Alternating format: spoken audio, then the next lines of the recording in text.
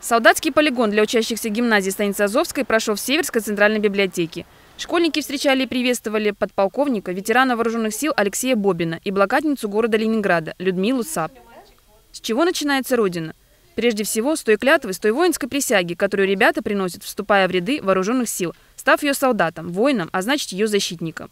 Один день солдата школьники попытались прожить, прочувствовать и, возможно, по-иному посмотреть на человека в погонах.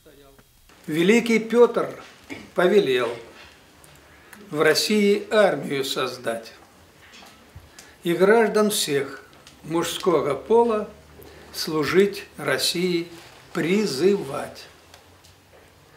Солдат России из народа, служить ему обязан он, чтобы российские просторы не были попраны врагом. Рассказал ребятам Алексей Алексеевич и о великом полководце Великой Отечественной войны Иване Петрове, о его сложной и необычной фронтовой судьбе.